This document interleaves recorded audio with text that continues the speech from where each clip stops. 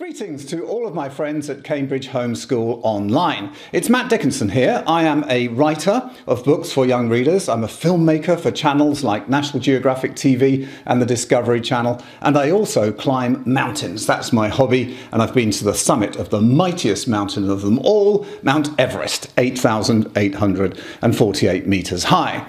Now, recently I was honored to be invited to become a part of your speaker program.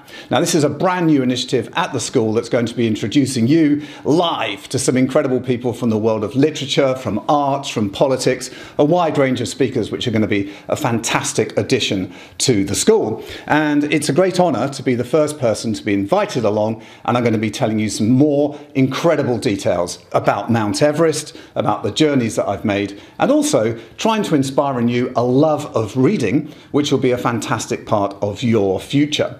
And just to mention a couple of my books, just in case you want to track them down before my live session for Cambridge Homeschool Online. The Death Zone, the true story of climbing to the summit of Mount Everest.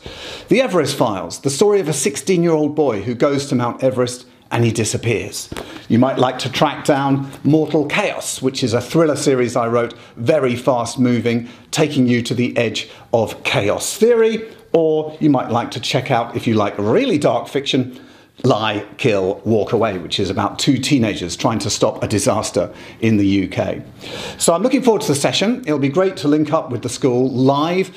If you've got any questions, please have a think about that and we can do a Q&A session towards the end of the presentation. And I'll look forward to seeing you all very soon at Cambridge Homeschool Online.